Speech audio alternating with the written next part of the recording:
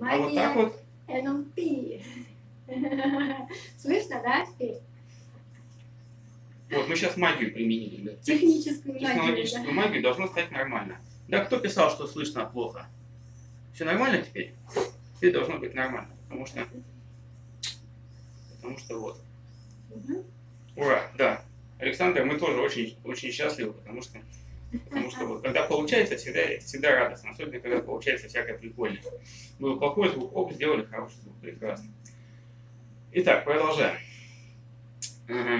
Моделировали психологов, моделировали психотерапевтов, моделировали э, гипнотерапевтов. То есть, в принципе, все это относится к сфере психологии. Но при этом, э, ну, во-первых, там время такое, да, было как бы, понятно, революция хиппи, все такое, Кастанеда и вот это все. Интересное время. С одной стороны. А с другой стороны, вот как бы тоже как, как намек на некоторое развитие ситуации, да. Первая книга по НЛП, ну, вспоминаем, как она называлась, «Структура магии».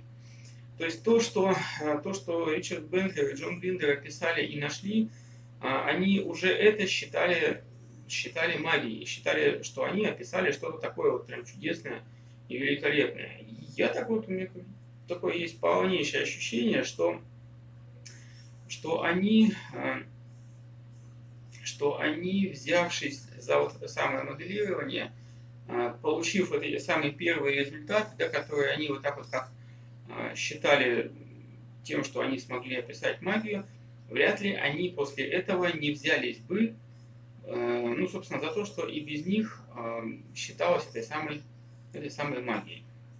То есть всевозможные, всевозможные странные, странные штуки, всевозможные мистические там, течения учения, всевозможные идеи о том, что э, ну вот они же экспериментировали с гипнозом, да, на тему того, что типа там вот там можно там а- анестезию делать, да, под гипнозом, раз и человек ничего не чувствует, раз и чувствует то, чего нету, да, вот они там галлюцинации позитивные, галлюцинации негативные, видишь то, что есть, не видишь, ой, точнее не видишь то, что есть, видишь то, чего нету, и это э, вот по-любому они бы к этому пришли, даже нет сомнений никаких.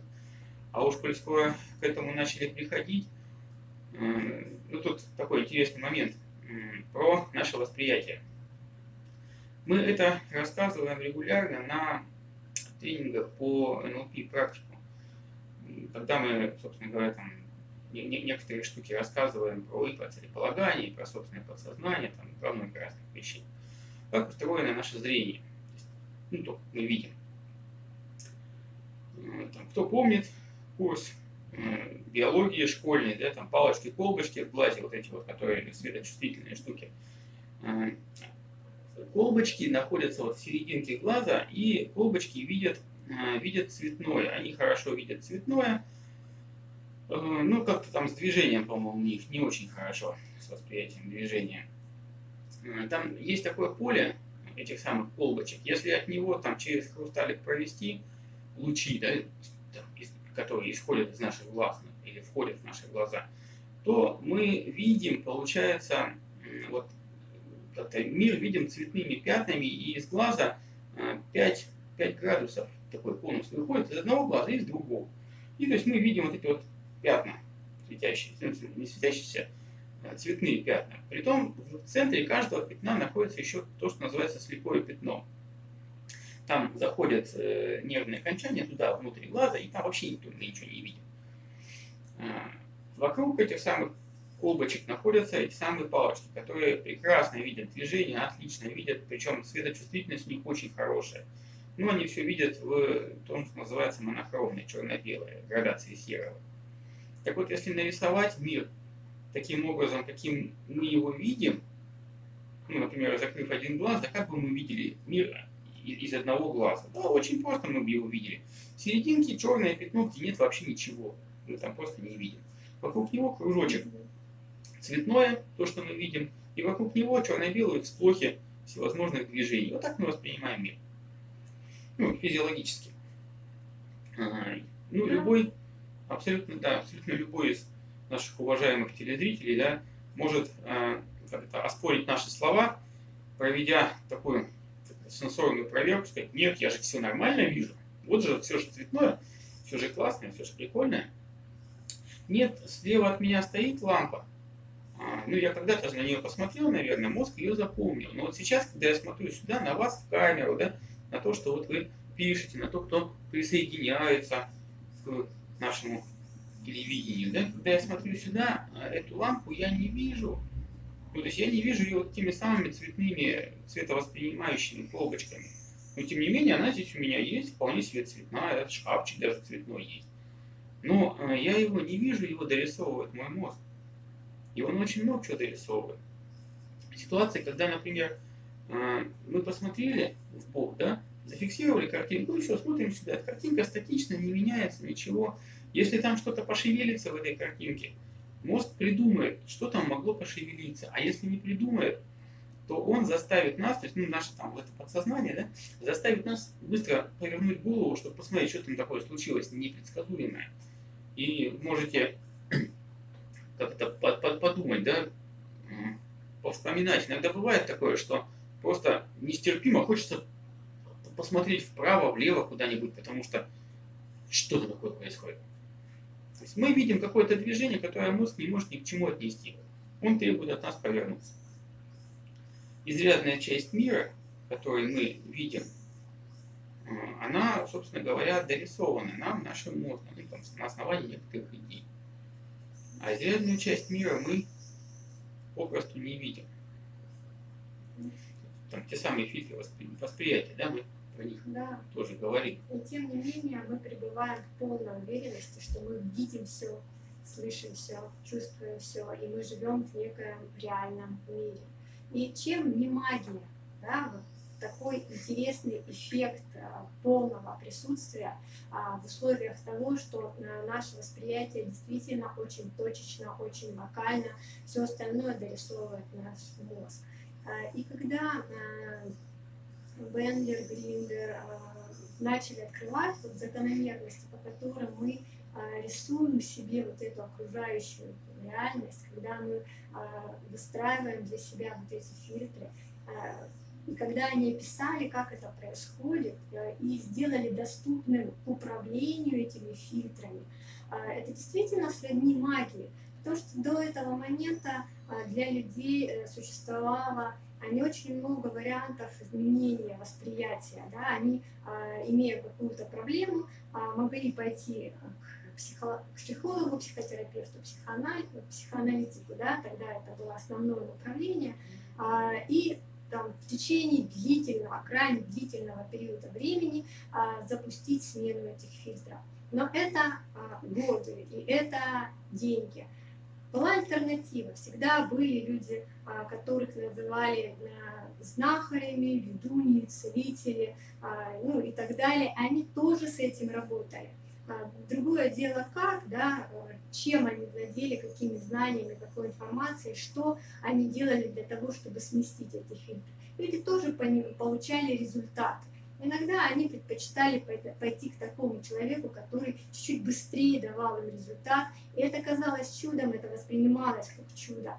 Но после описания каких-то технологий а, неоперами, а, чудо перестало быть с одной стороны чудом, просто потому что оно стало понятным. А, знание — это чудо. С другой стороны, а, ну, наверное, они подошли с двух разных сторон. Вот Мурат очень правильно написал матрица. Да, конечно, матрица. То есть мы, мы живем в некоторой субъективной реальности, мы об этом знали. Другой вопрос, что нам с ним можно делать. То есть не, а, не имея в виду, что вот какой мир есть, такой есть, мы в нем живем, а именно, чтобы мы могли там больше, больше что-то изменять. И здесь есть, наверное, два, а, как бы два подхода, и оба этих подхода, а, собственно, основатели НЛП, Бендлер и Гриндер продемонстрировали. Если наше подсознание так много делает за нас и ради нас, то есть речь сейчас не идет ведь только о том, что оно достраивает нам Э, вот это вот самое смотрение да, глазками.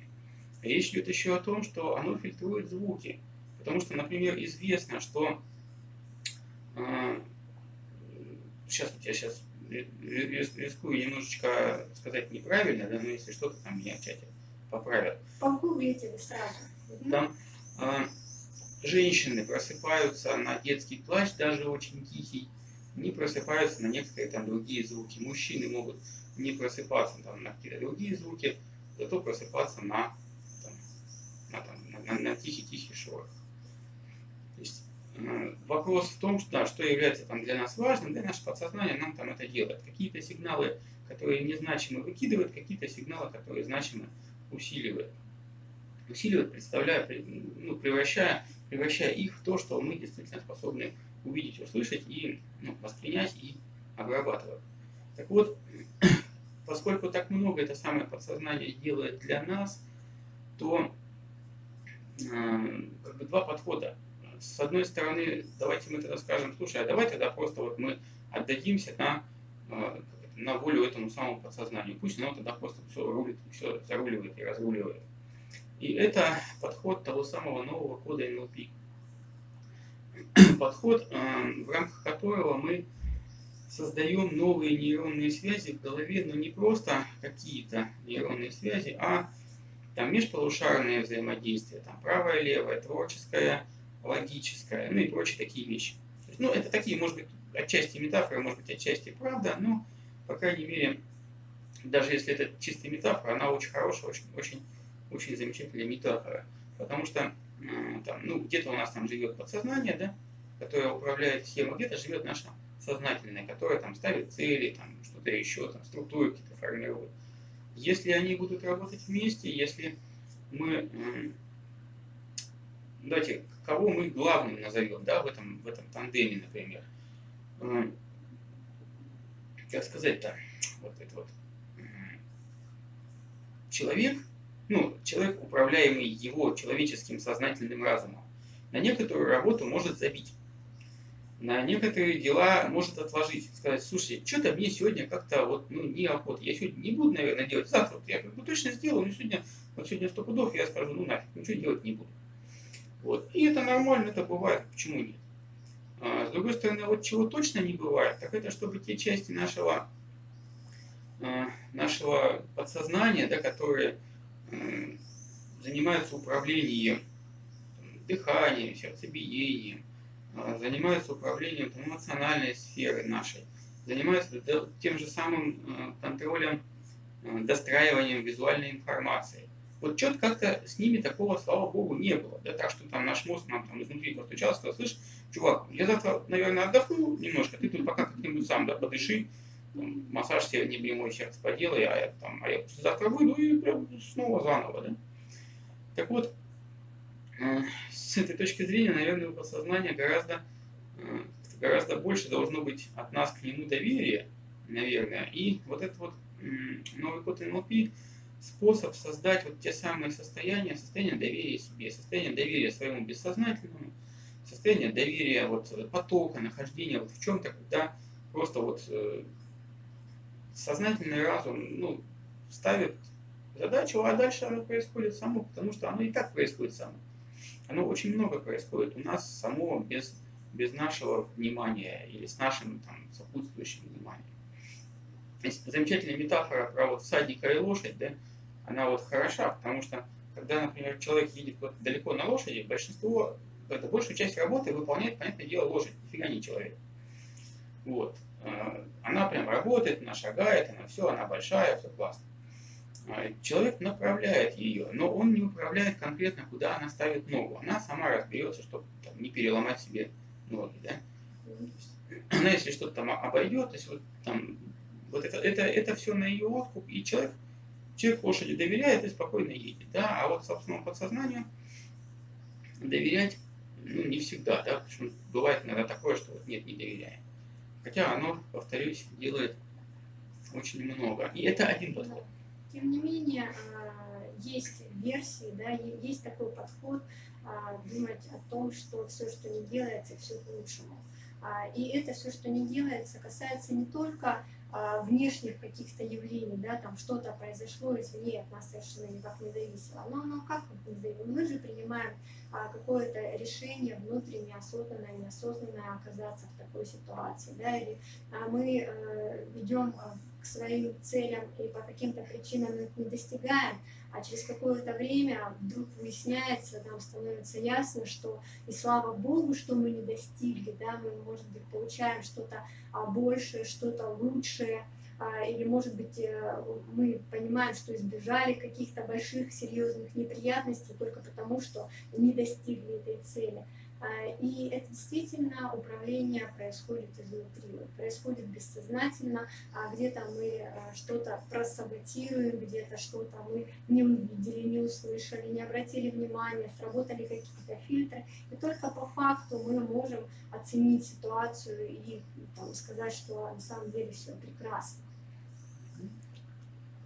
И, наверное, это подход психолога Гриндера. Ну, Тут мы, наверное, вот его психологом назовем с полным правом. Да? А вот с другой стороны, э, к этой же самой магии НЛП подошел бывший программист Бенли. Ну, хотя не знаю, бывают ли бывшие программисты по себе, скажу, наверное, нет. Программист Бенли зашел с другой стороны. Если наше подсознание может управлять э, ну, как бы всем вот этим вот, ну, то есть всем вот этим вот, да, это имейте в виду, у нас э, организм вырабатывает для собственных потребностей какое-то количество алкоголя. У нас организм вырабатывает никотин, ну еще там много-много всяких разных замечательных веществ. Он их и так вырабатывает. Собственно, они на нас и действуют, на людей, да, потому что они у нас и так включены в биохимию. Так вот, если он их все равно вырабатывает, если он все равно управляет там, нашими эмоциями, состояниями и всем остальным, то как бы так сделать, чтобы он, например, управлял этим ну, по, нашему, по нашей команде. То есть как-то договориться, да, чтобы мы сказали, слушай, а можно сейчас вот, я, ну, вот так пьяненький буду, например. Или, например, нет. Или, например, быстро протрезвею. То есть это же все организм может. То есть организм управляет нашим, называется, когда там все переваривается, кровь двигается. И забыл это слово. Ладно, я вспомню, потом скажу. Обмен веществ. Обмен веществ, да, обмен, скорость обмена веществ. Вот совместным или спасибо. Вот. А, организм управляет этим. Да, управляет. А, Василий, Василий, да, запись будет, будет выложена на нашем телеканале. Управляет организм этим? Да. Может он ускорить обмен веществ? Ну, наверное, может. Может он его замедлить? Ну, наверное, может. Но почему, наверное? Давайте вспомним а, примеры людей, которые а, намеренно а, занимались тем, что тренировали свою способность сознательным усилием а, остановить сердце, а потом снова его запустить. Да? Э, это же реальный факт. Другое дело, что вторгаясь в эту область бессознательного, люди э, это делали в течение а, многих лет, потому что настолько сильные защиты стоят. Вот, э, доступа к вот этим всем процессам, слава богу, вот, потому что мы бы доэкспериментировались в большинстве своем. А, тем не менее, да, Андрей совершенно прав, а, может э, это организм все делать. Вопрос, а каким образом наладить с ним вот тот самый контакт, вот то самое доверие, чтобы организм а, следовал вашим пожеланиям усилить метаболизм и сохранять стройность. Это же прикольная тема прикольно, можно же так сделать, но вот а, понятно, как это сделать технологич, ну, технически, да, там какая технология основана уже. Дальше вопрос практики и а, гармонии контакта с собой также. Да. И вот, а, и, и вот программист Ричард Бендер, почему я акцентирую внимание на программист? Ну, во-первых, э, вот в рамках DHI, вот, собственно, того, что разработал Ричард Бендлер, оно, но оно очень технологичное, оно очень программистско устроено. Там внутренние приборы, там в голове у человека организованы и компасы, и часы, и там что-то еще. Но самое главное приколюха, наверное, программистическая как раз вот в этом, э, в классическом, в классическом тренинге э, Ричарда Бендера вот на тему этих технологий, в, ну, в том, как, как э, до сих пор ведутся вот эти самые классические его тренинги, там есть такой вход – собственно, вход в управление внутренним миром. Белая точка разворачивается в линию, линия разворачивается в прямоугольник. Ну и дальше на нем уже начинаются все вот эти вот действия производиться приборы, управление биохимией и всем остальным. Ну вот, а Ричард Бендлер программистом был там, ну, до начала 70-х, да, он оттуда с программирования перешел в психологию. Так вот, э, это так включался монитор компьютеров в те годы, те далекие-далекие годы. То есть это не, не то, что как сейчас плоские мониторы, как исторический нет, это а, так включалась развертка ламповых телевизоров, развертка ламповых мониторов. Собственно, оттуда это и пришло, ну, что достаточно прикольным является. Ну, так вот, собственно, подход, а, подход NLP, подход Бедлера к вот этим вот странным штукам, он, ну, с другой стороны, да, он со стороны технологий, со стороны управления, со стороны доступа, наверное, к тому, к чему обычно у нас доступа нету. И вот здесь вот тоже такой, как второй интересный момент, у нас, у нас очень много информации отсеивается. То есть мы, э, мы видим сверх, то, что называется сверхслабые сигналы. Э, глаз видит, глаз воспринимает чего-то такое маленькую точку, но мозг это не пропускает, потому что, ну зачем, вот зачем этот хаос, да? Как бы все же нормально у нас лежит. Мы видим, да, там, ну, каким-то уровнем огрубили, воспринимаемую информацию, и хорошо, и ладно, но оно осталось. Потом э, всевозможные внутренние, ну вот там сердцебиение. Э, есть приборы, да, которые меряют пульс. Ну, ты вешаешь на руку, там прибор там меряет, показывает. А ну, я, я так спрошу, неужели там внутри нас, да, из нашего подсознания никто не знает, с какой частотой бьется наше сердце? Прекрасно знают без приборов. Можем, значит, мы получить к этой информации доступ? Ну, то есть, давайте так, тут несколько вопросов. Да, вопрос номер раз, есть эта информация или нет? Ну, совершенно точно, эта информация есть. Вопрос номер два, можем ли мы получить к ней доступ? И вот тут, э, опять, тут как бы немножечко даже и смыкается DHI и новый код. Вопрос в том, чтобы было вот то самое, ну, где-то доверие с бессознательным, а где-то и э, где-то и договоренность. Например, там мы не лезем куда не надо, ну ты нам, пожалуйста, вот покажи. Пусть, например, у нас там где-то в голове будет картинка циферки нашего сердцебиения. Нужно нам это, не нужно, вопрос второй. Но может же быть? Да, может, если мы с мозгом договоримся. И, собственно, вот то самое белое поле, да, ну, либо в текущих форматах, каждый раз, когда мы делаем демонстрации всевозможные, ну, и в том числе на тренингах, полноценных вот этих вот технологий DHI, а, мы используем уже современные аналогии, современные аналогии для управления для управления нашим подсознанием, да, ну, для управления тех самых приборов. Мы в голове просто придумываем планшеты, сотовые телефоны, то что сейчас людям является да, язык образов, язык метафор – это а, лучший способ общаться со своим бессознательным. Поэтому, э, как бы мы э, не пытались а, говорить какими-то а, терминами, описывать технические характеристики, напомнить мозгу о том, что ну ты же знаешь, как выглядит планшет, давай его использовать. Да, это сразу становится понятно, сразу возникает образ, а, готовый для работы, а зачем усложнять? Потому что именно бессознательно эти образы а, для общения с самим собой предлагает. Хороший вопрос в чате задал Василий по поводу того, что нету доверия бессознательному. Можно ли наладить? Вот. Это прекрасный вопрос, потому что и с точки зрения нового кода, и с точки зрения DHI а, на этот вопрос они отвечают, ну, немножечко по-разному. Если новый код с помощью специальных упражнений формирует дополнительные связи с этим самым бессознательным, и в том числе включает, а, в том числе развивает и включает состояния, в которых снижены а, вот те самые внутренний диалог, в которых снижены, возможно, те самые там, тревожные стратегии. А, позволяет человеку по, как-то подольше находиться, развить и заякорить вот этого состояния потока, состояния реально доверия к себе. То есть, да, развивает. Это с точки зрения нового кода.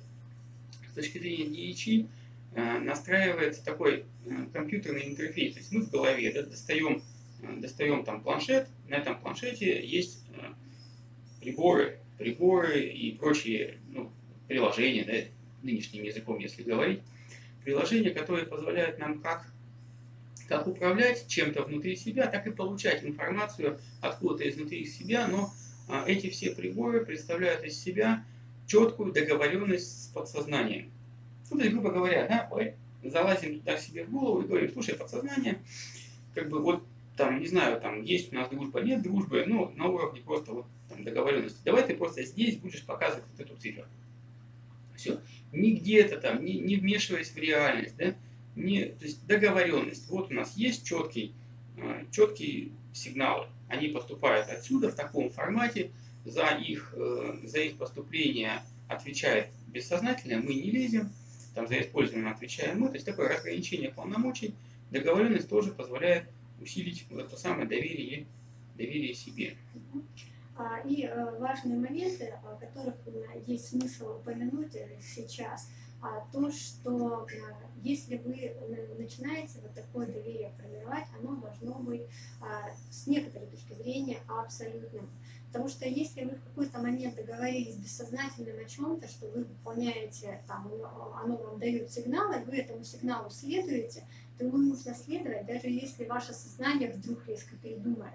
А нарушение договоренности с самим собой влечет за собой потерю контакта, который восстановить потом будет гораздо сложнее. А вот а, мы какой, какой-то период времени, общаясь с другими людьми, начинаем те же самые стратегии общения применять и к себе. Поэтому есть моменты, когда человек общается с другим, и он отслеживает, да, где можно больше довериться, где можно меньше довериться, где можно поменять договоренности. Вот что касается бессознательного, вот э, с ним такие игры лучше не играть. Это должен, э, это вот, рассматривать бессознательно, есть смысл в формате максимально там, близкого вам человека, которому вы доверяете целиком и полностью, ибо в его руках ваша жизнь и смерть в прямом смысле этого слова. Вот. И тогда вот а, с такой парадигмой, с таким убеждением вы а, очень быстро достигнете глубокого вот того самого контакта, а, и а, любые сигналы вы будете получать очень четко, правильно, адекватно, а, и это сделает вашу жизнь лучше. Ну, э, давайте сейчас мы, как это, запустим вторую, второй слой нашего повествования. Мы обещали э, в рекламе, мы обещали в нашем телевизионном эфире бескомпромиссно использовать НЛП для того, чтобы встраивать людям программы через телевизор. Ну, то есть как, как, как любят обвинять телевизор в том, что он там зомбирует людей. Вот, мы сейчас это сделаем. Ну, давайте, по желанию, да, кто хочет зомбироваться, тот, пожалуйста, кто нет, как бы мы не настаиваем. Обязательно поставьте стакан с водой. Да, обязательно. Про это мы чуть позже расскажем, да, в том числе. Но а, сейчас вот про сигналы пышного времени. А, давайте так. Кто, ну, кто, кто хочет сейчас попробовать на себе, как это выглядит встраивание часов, например, в голову, ну, прямо сейчас в эфире это будем делать. Это одна из, одна из техник, одна из, один из элементов того самого DHI, достаточно несложный, мы регулярно его демонстрируем. Закройте глаза. Закройте глаза, представьте, что где-то там внутри вас у вас есть планшет. Планшет, может быть сотовый телефон. Выберите любимую вашу там, марку. То есть какой-то такой вот аппарат, с помощью которого вы будете управлять потом, управлять и получать информацию ну, из глубин своего подсознания. Пока что его просто поймите, где он у вас находится. Где у вас всегда лежит этот где ваш телефон. И когда вы его осознали внутри себя, телефон, планшет, не важно, да? вы его как бы достанете перед собой мысленно, перед мысленным взором достаньте его и включите. Включите, увидите, пожалуйста, что там сейчас на нем ничего нет. То есть просто черное поле или белое поле. Э, никакого, никакого э, на нем пока что еще программного обеспечения особо не установлено. Только в углу есть часы. Ну, в каком-то углу правый верх и, наверное, да, там левый низ, как угодно. То есть где-то в каком-то углу есть часы. И вот сейчас, сейчас на этих часах вы поставьте циферки на часах 20 часов 34 минуты. 20 часов 34 минуты. И запустите, пусть на этих часах моргает это самое двоеточие между ними. Все, вот она моргает. Раз. Раз, раз, и все, и пожалуйста. И уберите обратно планшет туда, где он у вас находится, планшет, телефон, да что у вас, убирайте, и пока, пока оставьте его в покое. Вот, продолжаем. Роман, можно ли подсознательно выделить как часть личности и договариваться с ним? Э, Роман, нет. Когда мы выделяем часть личности, начинаем, ну, например, техниками шестишагового рефрейминга, с ним работать, э, это, это мы его уже как раз таки вытаскиваем на осознанность, да, ну и, собственно говоря, человек, здесь бессознательно. Вытаскиваем и работаем. Но это не то. То есть там скорее, скорее бессознательно это все вне нашего осознавания. То есть там вопрос немножко по-другому решается, и вопросы доверия, и вопросы общения. То есть примерно вот как сейчас э, в примере с этим самым планшетом внутренним, да, то есть где-то там, вот это самое где-то там, это все наше, все наше бессознательное внутреннее. То есть целиком с ним, ему можно отправлять запросы, отправлять какие-то слова, можно с ним как-то разговаривать.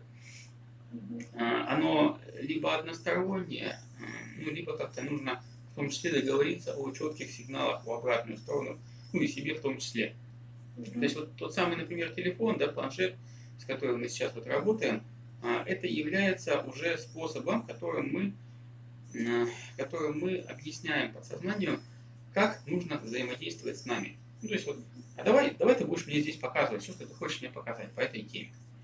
А, наше бессознательное гораздо а, шире, объемнее, чем а, понятие частей бессознательного, да, наших внутренних частей. По аналогии, да, дау невыразимо, если оно выражено, это уже не дау.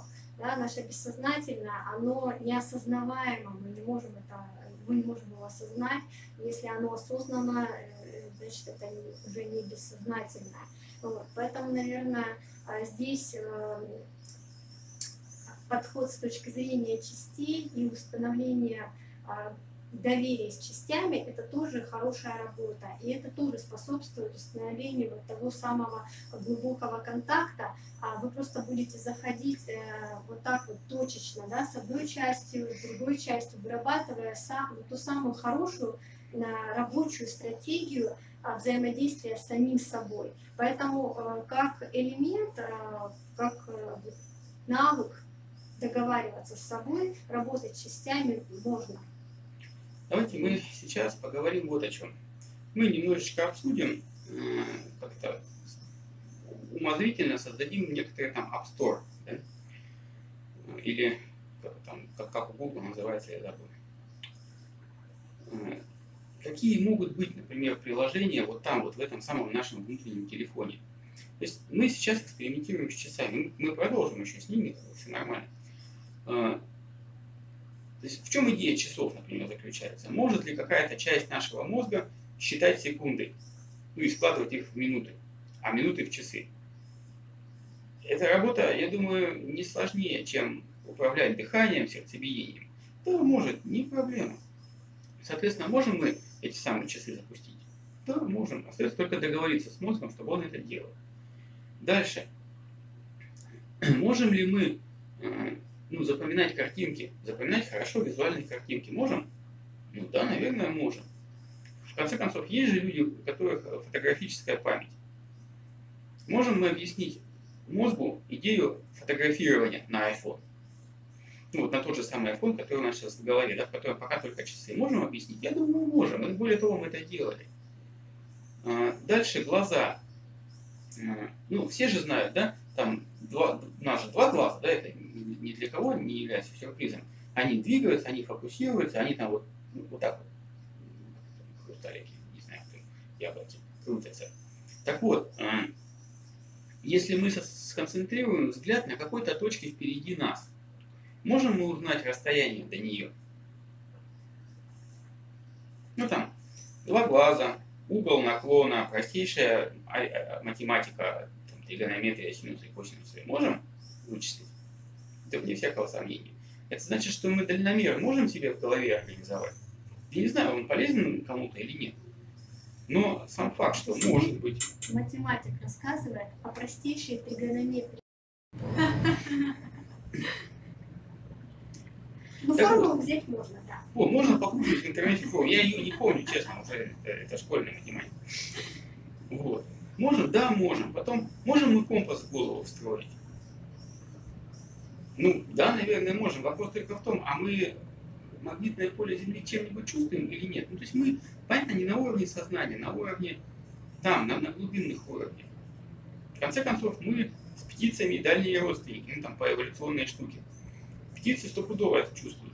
Возможно, у нас какие-то рудиментарные остались эти штуки. А даже если не остались.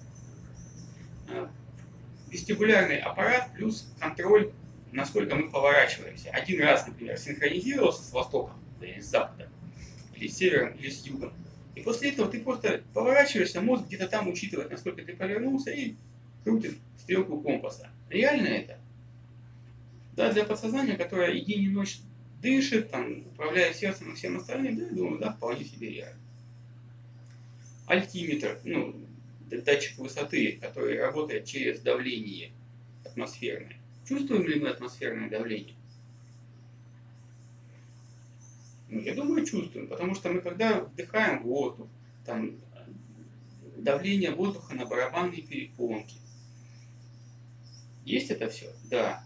Сознательно мы это чувствуем? Нет, конечно, никому это не надо. Это вот те самые сигналы, которые отфильтровываются. Но они есть. Давайте сейчас чуть-чуть прервемся снова на наши встраивание сигналов точного времени. Те, кто это делал, снова, пожалуйста, закройте глаза. Ну, сейчас уже быстрее это будем делать. Достаньте этот самый свой внутренний девайс, гаджет. Посмотрите, сколько сейчас там времени. Можете в чатик написать у кого сколько. Главное сейчас просто посмотрите именно на, на, на, на вот этом вот телефоне или планшете. Интересует то, что находится именно там. Давайте там, не будем себя обманывать, а будем честны. Вот, а, я скажу, должно быть там 20 часов 41 минута. Вот посмотрите, у кого больше, подкрутите, у кого меньше, подкрутите, у кого ровно, порадуйтесь. И оставьте пока это снова туда уберите свой этот самый телефон, туда, где он у вас обычно лежит, и возвращайтесь сюда к нам. Что еще может быть? Там, дальнозоркость специальная. Ну, то есть там, чтобы мы издалека могли смотреть маленькие буквы. Можем? Ну, я думаю, что можем. Ну, вопрос, конечно, там есть некоторые ограничения, ну, по крайней мере, там, в некоторых рамках. Вот. Одно из самых интересных, вот, то самое, что упомянули, да, уже, упомянули о том,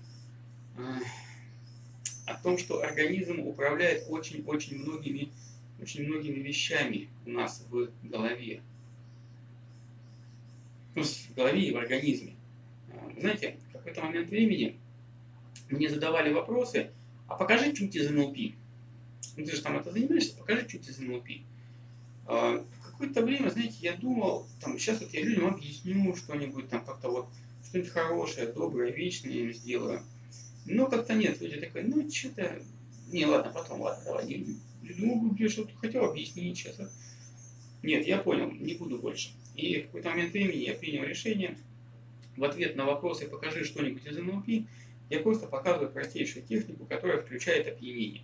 Мы эту технику на якорях, на курсе НЛП практик делаем регулярно. Ну, обычно, конечно, на, э, как они называются, на интенсивах обычно, там, там, где людям не нужно после тренинга уезжать домой.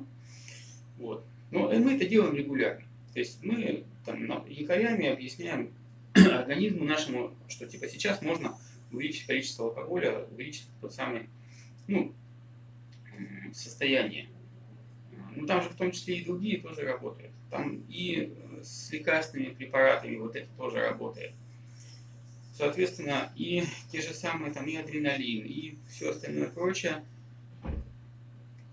У нас был случай здесь, здесь в Ростове с одной из, с одной из наших учениц.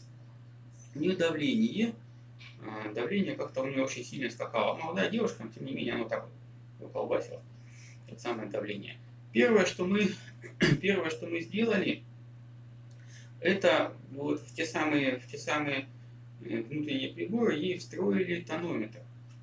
То есть встроили, объяснили, как она с ним поработала, то есть дома там мерила то есть там же самая главная идея, мы объясняем, вот не словами объясняем, мы объясняем нашему подсознанию, что вот ты сейчас показывай нам вот эту циферку, а в этом состоянии вот эту циферку, а в этом вот эту.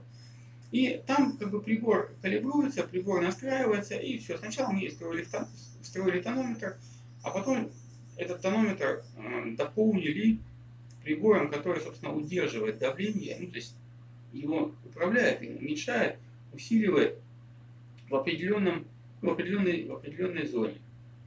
Мы настроили ей там идеальное давление, которое вот там в правильных, нужных границах, запустили эти приборы, эм, обратно, там, через два года, по-моему, она нам, ну, оно и сразу заработало, но через два года она нам сказала, что с тех пор два года по давлению вообще все прекрасно.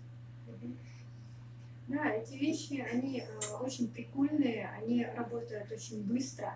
Фактически вы получаете э, в управлении массу инструментов, которые качественно улучшают вашу жизнь. Да? Вы становитесь а, не знаю, там, супергероем, да, а, нужно определить, сколько времени, да, вы информацию изнутри достаете. Про сколько времени? Да, маленькая да, пауза. Ага. Да, я, я видел, да, люди в чат писали разное время, да, у кого-то спешат, у кого-то сильно спешат, и это правильно, это нормально. То есть нам как раз нужно их настраивать. Поэтому те, кто занимается сейчас часами, снова, пожалуйста, закройте глаза, обратитесь во внутренний мир, достаньте этот самый свой телефон, гаджет, Посмотрите сейчас, сколько там времени на нем. И опять же, можете написать там в чат, можете не писать, это как хотите, но должно быть там 20 часов 46 минут. И опять-таки, опять-таки поправьте, опять-таки поправьте, если кому-то надо поправлять. Ну и убирайте, убирайте в сторону. Так вот, идея вот этого самого DHI, приборов, его заключается в том, чтобы мы вот давайте мы прямо сейчас это делаем, да, мы прямо сейчас создаем часы. И обратите внимание, как мы это делаем. Мы не знаем, что внутри нас будет э, ответственным за... Вот, о, Роман, Роман супер. Мы не знаем, кто будет ответственным внутри за то, чтобы считать нам правильное время. Но мы объясняем, объясняем человеку там внутри нас, да, объясняем нашему подсознанию, слушай, пожалуйста, делай вот это и показывай нам вот здесь и вот так. И мы настраиваем. То есть если часы поначалу спешат, мы корректируем, это значит, что та часть нашего мозга, которая будет это делать, она скорректируется и ну, станет отсчитывать секунды помедленнее. Если оно, например, наоборот, тормозит, да, то побыстрее будет. То же самое с тонометром. То же самое там со всеми остальными вещами. Мы настраиваем мозг, причем используя, вот там используются стратегии, стратегии системы, системы черный ящик.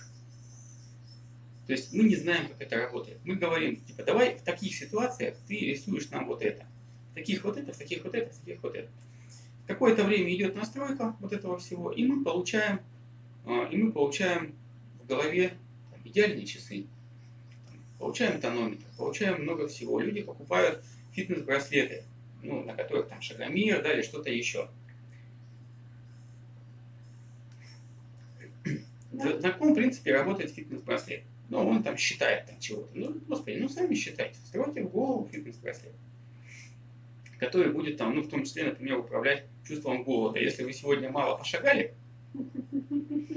то как бы вам кушать, Поменьше, да. кушайте водичку, что называется. Вот. Если пошагали нормально, то вам там прям вот мозг разрешает сочный, вкусный еду. Да, действительно, э, мы э, пользуемся э, своим сознанием, тем более своим бессознательным, что называется, на уровне там, заводских настроек, да, что вот было воспринято в семье, какие навыки мы там взяли от, от своих родителей, а, ну, тем мы пользуемся. А люди, которые живут там в тайминге, да, семьи, а у них как бы дети более дисциплинированы, они как бы чувствуют время, они прям могут определить с какой-то там большей или меньшей точностью. Ну, девайс условно настроен, но неосознанно, да, а вот. А, такое тоже может быть, а, но все равно это уровень заводских настроек. Если мы говорим о а, совершенстве, да, о том, что человек может стать круче, может быть интереснее, может быть лучше, может владеть теми самыми, ну, такими магическими какими-то штуками, это разработка вот Бендлера, дизайн Human Engineering, да, встраивание приборов. Но понятно, что вопрос не встраивания приборов, это метафора, это развитие дополнительных своих человеческих э, навыков, да, стратегий, которые позволяют быть эффективнее. Хороший вопрос. Работа через петлю обратной связи. А работает ли это с аллергией? Василий, да, это работа через петлю обратной связи, да, мы через нее настраиваем. С аллергией там а, ну, один из элементов, он вот так же, да, делается, а, ну, все остальное там еще куча. То есть по аллергии, на самом деле, отдельная тема, нужно писать, наверное, отдельный эфир по поводу аллергии. Но в целом там кусочек из этого, конечно, есть. Вот. Ну, давайте. Уже, наверное, дальше я не буду про часы делать, вы уже понимаете сами, как их корректировать. Я там, наверное, расскажу несколько веселых историй в завершении вот этого всего. А, однажды, я уж честно не помню, где это было, но одна из участниц наших тренингов победила, а, победила топографический кретинизм с помощью техник DHI. То есть а, там именно, именно встраивание в голову, ну, фактически навигатора. То есть компас, плюс э, визуально помнить карту, ну и плюс шагомер. То есть вот такой вот. Оно не получилось у него прям такой же навигатор, как Яндекс навигатор, конечно, но она как бы несколько вот этих элементов сделала, оно может быть до конца и не собралось, но этого хватило, чтобы в мозгу собралась стратегия э, вот этого пространственного ориентирования. И она потом говорила, что да, все как бы перестала путаться, перестала вот, как бы, блудить, по, там, теряться и все остальное. То есть серьезно-серьезно продвинулось вот это вот. Забавную, забавную недавно штуку я у себя отследил. Э, часы-то я себе давно в голову встроил, все время я чувствую очень хорошо. Э, более того, э, на, на часы, когда поглядываю, я понимаю, что я это, синхронизирую время. Я даже его мысленно не, не отдаю себе отчет сколько на этих часах. Вот, я недавно себе, в общем, я заметил, давно заметил за собой, что я просыпаюсь очень, очень легко, хорошо просыпаюсь, причем зачастую просыпаюсь без будильника, но понятно, что я просыпаюсь по внутреннему будильнику. Когда я вечером завожу на телефоне будильник, я его завожу на всякий случай, это я себе в голове говорю, что мне нужно в 7 проснуться, например. Я в 7 просыпаюсь. Так вот, а, я недавно поставил на телефоне на будильник песню. То есть до этого просто был какой-то звук, а тут я поставил песню, хорошую песню, которая мне нравится. Мне просыпаться под нее нравится. Но я заметил, что когда, например, я, ну, когда мне внезапно утром никуда не надо просыпаться, мне во сне эта песня играет в нужное время. То есть у меня внутренний будильник и эту песню интегрировал туда, к этим самым часам. Я просто сплю, и мне во сне начинает играть песня будильника. Я просыпаюсь и думаю, а почему будильник играет? Мне же не надо. Смотрю на часы, ну да, действительно не надо, сплю дальше. Нормально. Ты забыл э, снять галочку, там где Да, там, там, надо, там надо галочку, да, видимо, каждый день играть. Вот. Вот такие, такие забавные Да, э, штуки. как только вы поймете сам принцип, каким образом это э, работает, и как только вы достигнете определенного уровня доверия к своему бессознательному, поверьте, встраивание вот таких вот а, стратегий будет проходить достаточно быстро, легко. Даже не обязательно нужно будет уделять этому какое-то вот время специально. Вы в процессе а, можете поймать мысль, было бы круто, если бы я а, там на, на, на глаз там, ну как-то вот там по ощущениям, да, там просто изнутри знаю, сколько мне чего куда положить, насыпать, да, там как-то вот так вот, да, или, ну, или какие-то еще интересные штуки. А, И вы внутренне проигрываете стратегию в процессе, а, закладывая точки а, отсчета, да, вот те самые важные моменты, фильтры, свое бессознательное. И оно запускает стратегию автоматически. И вы, казалось бы, не сели, не поработали, там, в транс не входили, но вы замечаете, что оба, оно само уже начинает получаться, раз, другой, и стратегия закрутилась. Поэтому, а, тренируя а, навык а, общения с бессознательным, общаясь со своими частями, для начала это вообще прекрасно, чтобы а, стратегия заработала. А, Встраивая там 2-3 каких-то девайса, вы просто научаетесь очень быстро давать задачу своему бессознательному, оно начинает автоматически это включать. И при этом надо понимать, что э, в данном случае NLP тоже э, является не единственным способом э, И заслугой НЛП здесь является моделирование, заслугой НЛП здесь является четкость. То есть мы точно знаем, как сделать часы в голове. Мы точно знаем, как, как сильно э, усилить вот то самое доверие бессознательного, как, э, как прям вот хорошо э, состояние потока включить больше, лучше, быстрее. Это заслуга НЛП. До этого, до НЛП, идеи встраивания себе всяких разных существ, помощников, например, присутствовала давным-давно на Тибете. Идеи доставания э, информации из подсознания, чтобы она, ну, скажем, дополнительным слоем нам показывалась э, ну, относительно внешнего мира, прорабатывалась до НЛП в России в 60-х годах. Был такой замечательный человек из, э, из эзотерической тусовки тех времен российских. Ну, я думаю, что и до них это тоже работало. То, о чем, то, то, о чем Юлия говорила тоже в начале, э, всевозможные разные мистические школы, которые обучали людей, там, то, то же самое ауровидение, например. Да? Ну, давайте это тоже то, как бы в завершении, ну, там, если вопросы есть, вы их пишите. Вот. А такую немножечко штучку э, интересную расскажем. Э, то есть на тему тоже, на тему общения с подсознанием, да, на тему там вот этого собственно, э, канала канала информации.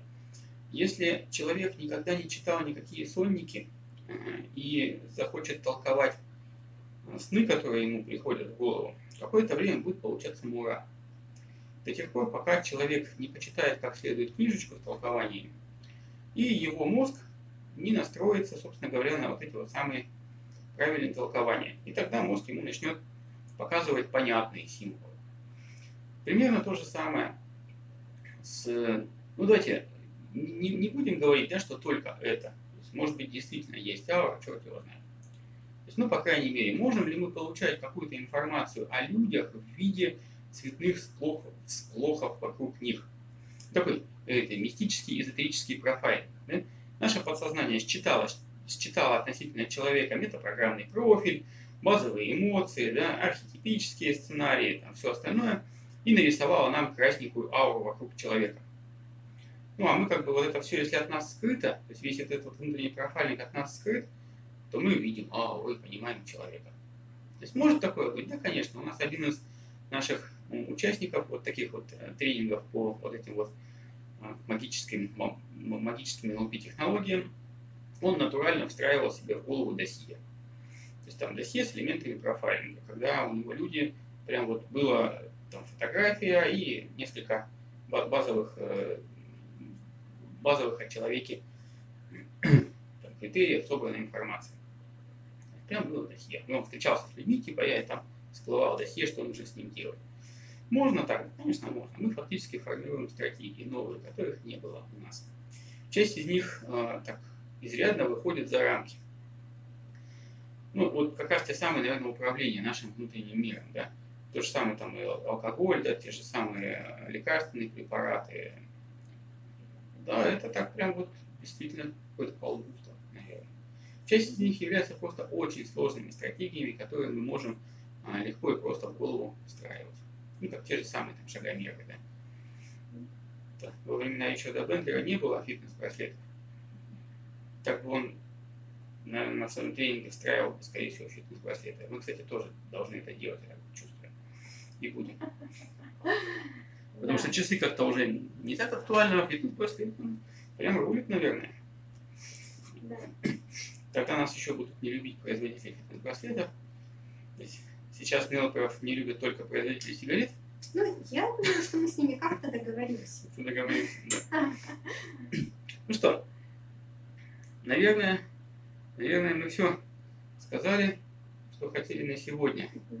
Наверное, все вопросы, которые были, мы ответили. Если они у вас будут еще появляться, пожалуйста, пишите э, вопросы, комментарии под видео. А, мы обязательно все читаем, э, будем реагировать, будем э, писать дополнительную какую-то информацию. Еще у нас будут эфиры, поэтому будем рады вашим интересам, да, что вас привлечет, что, что заинтересует, на какую тему поговорим. Да последний вопрос, да, Василий, э, неясен конфликт об управлении нейрохимией мозга. Книжки говорят, что практически врожденные изменить никак нельзя. Вот, а, давайте, тут конфликта никакого нет. Тут есть, а, вот есть то, что в НЛП называется пресуппозицией, там можно ли включать изменения, можно ли создавать изменения, можно ли учиться тому, что никто не умеет, или можно ли учиться тому, что кто-то один умеет. То есть мы не считаем это конфликтом, мы не видим в этом конфликт, мы видим в этом а, разрешение себе попробовать.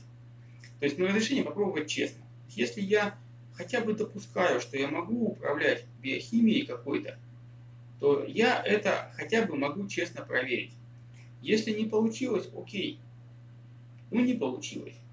Если я получу убедительные свидетельства изнутри, что это невозможно, ну хорошо, да, откажусь. Но чтобы вот этого конфликта не было, мы говорим не о том, что совершенно точно можно. Не говорим не о том, что с гарантией любой это сделает. Мы говорим о том, что это вполне себе реально. Да, скорость, возможность изменения зависит от карты. Если у нас в карте написано, что нельзя это менять, да, тогда изменение невозможно. Если мы в карте напишем, что можно хотя бы честно попробовать, мы честно попробуем. Если оно внезапно сработает, мы с офигевшими глазами скажем, опа, а что так можно было с самого начала? Да. А, и тут важна экология, да, ваша личная экология, потому что когда мы а, замахиваемся на а, такие вещи, как угроза жизни нашей, да, угроза нашему телу, биологии, естественно, защиты могут быть очень сильными, и они включатся и подтвердят вот это убеждение, что невозможно то, что написано в книге. Поэтому гармония, вот самый рапорт, э, доверие с бессознательным перед э, вот такими экспериментами, они должны быть очень глубокими. Собственно говоря, да, собственно говоря, именно поэтому мы вот эти две технологии, новый код НЛП и DHI, мы именно поэтому их объединили в единый тренинг «Магия НЛП». А, мы их так собрали в кучу, так собрали в один тренинг, так собрали в структуру, чтобы там, с одной стороны, Новый год помогал вот, увеличить вот эти самые э, моменты э, внутреннего доверия, DHI помогал создать там, новые стратегии, интегрировать. То есть они друг дружку поддерживают, и вот, и вот этот вот самый элемент, элемент как раз-таки важности внутренней экологии, важности доверия к себе и возможности создания там совершенно безумных экспериментов с собой в том числе – они друг дружку гармонично дополняют. И этого вопроса нет, потому что есть доверие, есть эксперименты.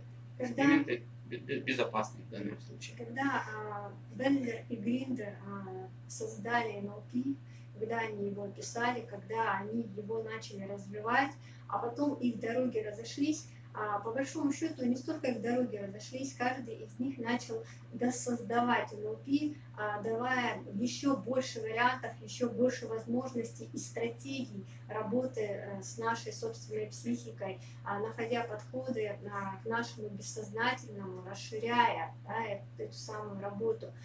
Вот. Поэтому, наверное, вот э, расход, да, их расхождения, их вот э, разные интересы а, были благом и здорово, но тем не менее а, мы рассматриваем это действительно как некое единое а, видение, да, не, некую цельность, которая с одной стороны дает ресурсы, с другой стороны дает ресурсы, балансируя друг друга и взаимодополняя. Ну ну теперь, теперь наверное, действительно все. Спасибо, спасибо всем, кто был с нами, кто задавал вопросы, кто слушал, кто встраивал себе сигнал точного времени. Людей э, везде успевающих вовремя будет теперь больше. Да, мы ждем вас на следующих наших эфирах. Вовремя, пишите, да. Пишите нам, э, пишите даже под этим видео, пишите вопросы на следующие эфиры, пишите ваши пожелания на следующие эфиры. На, э, мы регулярно каждый, каждую неделю будем писать очередной эфир.